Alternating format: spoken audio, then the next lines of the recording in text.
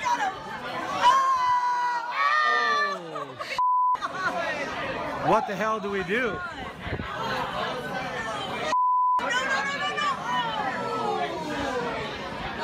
They just need to swim to shore. Should we like go out there and help them or something?